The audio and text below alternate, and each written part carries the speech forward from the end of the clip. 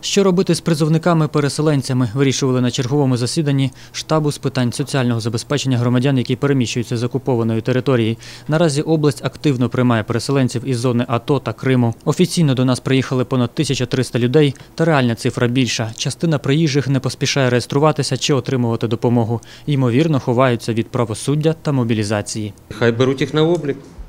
Людина тут вже отримує там допомогу по безробіттю, тобто вона вже ідентифікована.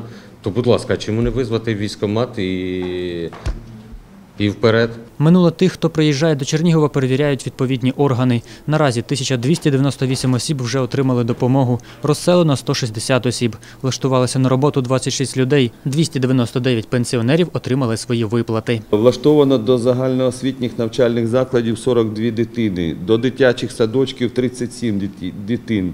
Е, Лікувально-профілактичними закладами Чернігівської області надана допомога 227 особам. За рахунок місцевих бюджетів е, Чернігівської області 39 родин отримали матеріальну допомогу для вирішення соціально-побутових питань е, на загальну суму 20,9 тисяч гривень. Чимало проблем у переселенців виникає із закриттям підприємницької діяльності. Є й такі, хто приїхав на час, а вирішив залишатися у нас надовго та зимувати.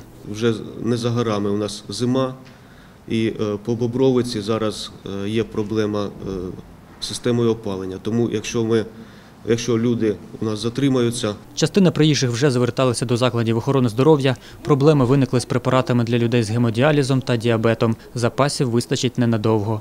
У нас 227 осіб вже звернулося до закладів охорони здоров'я. Три п'ятеро дітей у нас народилося, три з Крима і два з зони АТО.